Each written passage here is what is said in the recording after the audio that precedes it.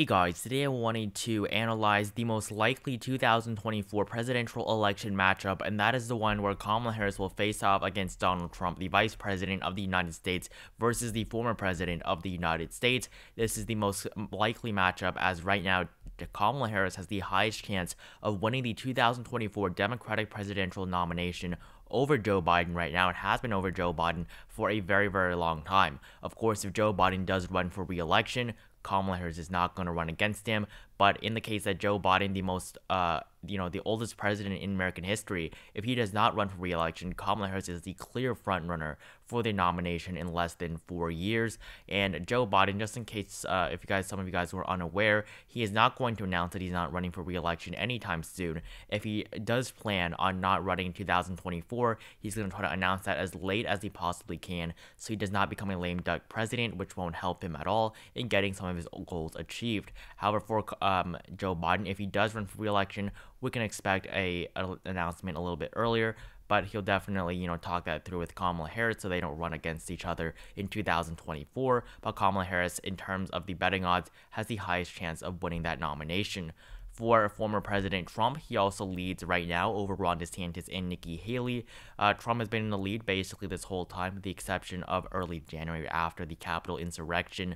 Um, but his chances right now are at 25. Ron DeSantis has been catching up, you know, increased by quite a bit since the ter- uh, beginning of Joe Biden's presidency. And then Nikki Haley, her chances have been pretty low here um, in the last couple of weeks. So right now, definitely it's favoring DeSantis, but Trump is still at the very top with the highest chance of winning the GOP nomination in 2024. Um, so you would have a former vice president running against a former president, not former vice president, sorry about that, a, vice president of the United States running against a former president. So I'm going to start off by filling in the solid states for Kamala Harris and Donald Trump. And after I do that, I want to take a look at the popularity of Kamala Harris and why it may be an issue for her because compared to Joe Biden, Kamala Harris is the clearly less popular candidate. Um, Donald Trump is more unpopular, but you know you saw he was more popular in 2020 than he was in 2016, but was still able to win the 2016 presidential election. Uh, so I'm gonna fill in all these states, and these states I think they're all going to be solid margins, as in over 15%, because Donald Trump is going to do better against Kamala Harris than he did against Joe Biden. I just think that um, there's no way that Kamala Harris does better than Joe Biden in 2024. However, if you look at the chances, or not chances, but if you look at the popularity of Kamala Harris, her favorability right now is currently plus four in the positive. So she's at plus four, but only 47% of Americans approve of her on average. As for Donald Trump, it is currently negative 15.4 in terms of his favorability, um, which has been pretty terrible. Um, in all honesty, only 39% of Americans approve of him, and over 55% view him very unfavorably. For Joe Biden, I'm going to compare this to Joe Biden's. He currently has an 11% favorable um, favorable approval rating, so 11% in the positives for President Biden's approval. So um, Joe Biden clearly and has been throughout this entire election season and Joe Biden's presidency, Joe Biden has always been more popular than Kamala Harris. Kamala Harris is a lot more of a Hillary Clinton than Joe Biden, but she's still um, favorable, which um, will definitely benefit her. Uh, and then if you look at this Donald Trump now at 101 electoral votes on this map to Kamala Harris with 180. Before we go any further, make sure you join my Discord server if you have not, the link to which is at the very top of the description below. Uh, so next, I want to fill in the likely states for both Kamala Harris and Donald Trump. Right now, Kamala Harris's likely states, not as much as Joe Biden's. I have the at-large vote in Maine as likely for Kamala Harris, as well as Colorado and New Mexico. Those are the only likely states they have for Kamala Harris on this electoral map. While for Donald Trump, it's not very many. We have Indiana, South Carolina, Alaska, Iowa as well as Ohio, and then the second district of Maine. So um, it's it's a little bit. Um, it's six states, uh, and the reasoning why is because I think that in the two states of Colorado and New Mexico, Joe Biden won these with a likely margin. I don't see Kamala Harris dropping below seven percent in these states. Uh, nor do I see her going under 7% in Maine either. Uh, but for Donald Trump, he will probably win Ohio by a likely margin again. It's not going to go over 15%, but I think he'll definitely win these states by 10% maybe, because if he's on 2016, he flipped these states from blue to red, winning them by 8% and 9% 2020, not much of a change, only 8% and 8%.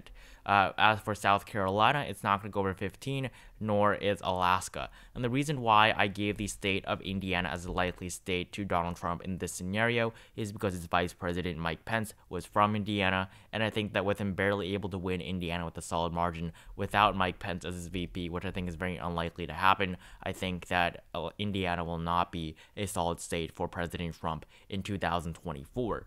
Um, so this gives Kamala Harris approaching 200 electoral votes, Donald Trump approaching 150. And before we go any further, I want to take a look at former VPs that have run for the presidency. Um, so Kamala Harris is a vice president, of course. And if you look back at history, vice presidents have a 50% chance of winning the presidency if they are on the general election ballot, which means they have to win their party's nomination. And out of all of the former vice presidents uh, in the past that have won their party's nomination, six out of 12 of them have won, six out of 12 of them have lost. So Joe Biden, of course, won. Al Gore lost. George H.W. Bush, uh, he won, of course, by a landslide um, Ronald Reagan's VP. In 1988, Walter Mondale got destroyed. You can look back at this all the way until the 1700s. So typically VPs they um, they do have a pretty good chance at winning their party's nomination after being the vice president. However, um, in terms of winning the general election, there really is no trend, and whether or not you know the president their VP for uh, matters, it's pretty unclear because you had Walter Mondale, uh, the vice president for an unpopular president Jimmy Carter. He got destroyed, got clobbered by Rich uh, by Ronald Reagan. However, George H.W. Bush, he was a VP under a popular president Ronald Reagan, and he was able to win. But Al Gore. Bill Clinton was a popular president. If you look at his approval rating, he was a popular president, but Al Gore still ended up losing to George uh, W. Bush. Uh, he did win more votes, but he did lose the electoral college. So there's a lot of factors that come into these things. And, you know, Richard Nixon, Dwight D. Eisenhower was a very popular president, but Richard Nixon still lost in 1960. So um, Kamala Harris, as a vice president herself, uh, I think that with Joe Biden and, you know, with Donald Trump running against her, I think the you know, Kamala Harris does have a pretty good chance in 2024. So I want to move on to filling in the lean states for both of these candidates. Starting off with the lean states for Vice President Harris, uh, I have uh, two of them. These are the states of Minnesota and New Hampshire. And I actually realized that I forgot to put in Virginia. Virginia is going to be a likely state for Kamala Harris. This was likely for Joe Biden. It was not likely for Hillary Clinton, but I think Kamala Harris will be able to win this state by over 7% in Virginia. So that's another uh, likely state for the vice president. For the former president, he has a few lean states as well, um, starting with Florida. Definitely. I think that Kamala Harris running against Donald Trump is not going to be beneficial for Kamala Harris in the state of Florida. Um, she was one of the reasons why Joe Biden lost Florida by, you know, the margin that he did, um, the margin 3.4% compared to 1.2% in Florida in 2016. Many of the Cuban and Latino voters in Florida, they wanted to see a um, you know, a Latina or someone, you know, more closely related to that as Joe Biden's running mate pick. But because of BLM and the pressure that it had on Joe Biden in his campaign, they went with Kamala Harris, um, the more status quo, um, more establishment, and uh, a person of color, but not, you know, a person of Hispanic descent, so that's why, you know, they gravitated more towards Donald Trump as well as Texas. I think Texas will be a lean state. I don't see Kamala Harris, you know, lowering this margin to a tilt state, but I do think that Kamala Harris will be able to lower this margin, maybe around three to four percent. Um, the margin for Donald Trump, because as you can see, 2012, this was a solid red state, 16 percent. 2016, 9 percent. You know, down six percent. 2020 um, 5%, so it went down by another 4%. Um, so the margin here in Texas has gone down 11% since Donald Trump has taken office. And if you look at, you know, 2024, the demographics in Texas will continue to shift to the left just in terms of the population makeup there. Uh, if you look at, you know, which places a shifted, you can see in Texas there was quite a big shift. Um, if I can uh, get closer, if I can zoom in on this. Uh, so yeah, if you look at this, um, you did see a lot of shifts to the right. However, those had you know thousands to you know sometimes even hundreds of votes, so they don't really matter that much. Uh, but if you look at the bigger urban areas in Texas, they're all moving to the left. And I mean, six points to the left in this county is much more important than, let's say, um, 40 points to the right in a county where less than 200 people voted. So um, it's a little bit deceiving, but in general, Texas is clearly moving to the left, uh, and it has been for decades now at this point. Um, so Kamala Harris 223, Donald Trump 220 electoral votes. Um, I want to give some states to Donald Trump, starting off with the tilt states I have for former President Trump, starting off with Wisconsin. I do think that Trump will be able to flip back Wisconsin. Um, he just does well in the Rust Belt. That is just a fact. Donald Trump does well in the Rust Belt. Um, you know, you can you, you know you can reason out why, but he just does well you know, 2012, this was all blue. 2016, it was almost all red. The only blue states here were Illinois because of Chicago and Minnesota, which is the most Democratic state in the country in terms of voting for Democrats. They have voted for a Democrat in every single election since the 70s. So Minnesota is definitely, you know, a pretty solid blue state. Um, the margins aren't always the best for them, but they have consistently voted Democrat for over four decades.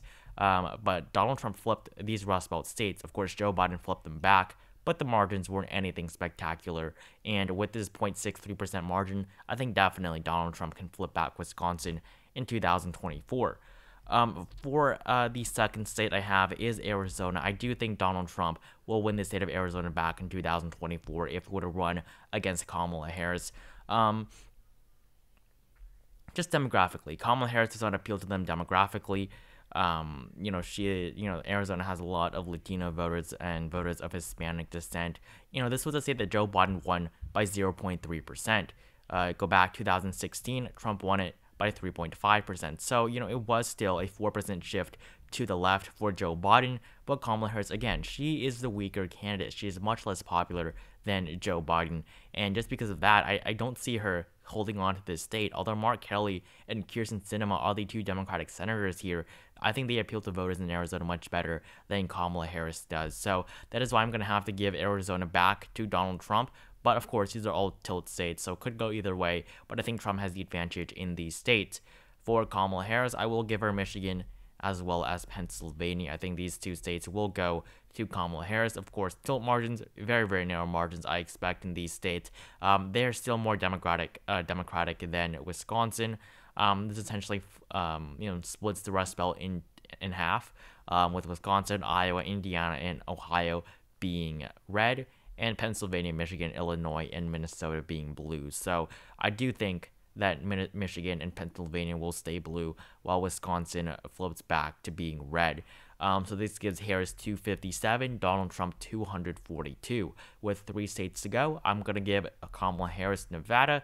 This was a state that, of course, Joe Biden won in 2020, as well as Hillary Clinton in 2012 and Barack Obama in 2008, who won it by 12.5%. But before this, it was a red state. The state does go red sometimes, um, but it does go blue more than red. It's like Florida except Democrats do better here. Um, while in Florida, Republicans do typically do better. That's why they have Republicans running the government there in Florida, even though Obama won the state quite a few times. But Nevada, I think the margin will go under 2%. I think she'll do worse than Joe Biden, as well as even Hillary Clinton, who did surprisingly well. Um, she did very good with Hispanics, which really did help her but I don't think Kamala Harris has that edge with Hispanics that Hillary Clinton had. Um, Hillary Clinton had a problem with African American voters, which is something that Kamala Harris does not have, which is why I will give her North Carolina. I think that North Carolina, this has been a state that has been moving to the left for a very long time. It was only 1% for Trump in 2020, and Kamala Harris, as an African American, she will appeal to those voters there. And with its demographics in general shifting to the left, I think Kamala Harris has a very, very strong chance at flipping North Carolina. And the final state I have on this map is the state of Georgia. This will be another tilt state for Vice President Harris. 16 electoral votes from Georgia. Same thing, you know, same reasoning with North Carolina, honestly. Um, you know, she does better with African American voters as an African American herself, as a woman as well. I think she'll definitely get Democrats to turn out for him in Georgia, you know, turn out for her in Georgia, just like Warnock and Ossoff got in Georgia in early January. So Georgia, that will go to Kamala Harris, and finally the second district of Nebraska, I think will be tilt for Kamala Harris. I think she'll hold on to it um, because this is not a typically Democratic district, and it has historically been red but I think Kamala Harris will hold on to that. This was a district that Biden won by 6.6%. So thank you guys so much for watching. This is my completed 2024 presidential election map between Vice President Kamala Harris and former President Donald Trump. Um, you know, my reasoning in many of these states is just, you know, look at the favorability of Kamala Harris only plus 4%. Compare that to Joe Biden, who won re-election, or not won re-election, but won the 2020 presidential election by, you know, just around 4 or 5% in the popular vote, and he only has a plus 11% approval rating. So I think Kamala Harris's favorability is definitely hurting her. And, you know, she's just less liked than Joe Biden just in general. And even though Donald Trump's favorability is so low, um, he's proved that he's been able to get over that because America is a conservative country. There are more conservatives than there are liberals. Um, that is just a fact, but that is changing. There are more and more liberals now uh, in the 21st century. So Kamala Harris, 296 electoral votes, holding on to most of the Biden states. She would lose Wisconsin as well as Arizona, but she would pick up the state of North Carolina for the Democratic Party for the first time since 2008, while for Donald Trump, he would, of course, flip Arizona and Wisconsin while holding on to Florida and Texas. So, thank you guys so much for watching this video. Make sure you join my Discord server if you have not. The link to which is at the very top of the description below. Like this video if you enjoyed it. Comment down below who you think would win in this scenario and which calls you think I made that were flawed in your opinion. Comment all of that down below. Or who you think will win the 2024 presidential election or what is the most likely matchup. Subscribe to my channel if you have not. And I will see you guys in the next video.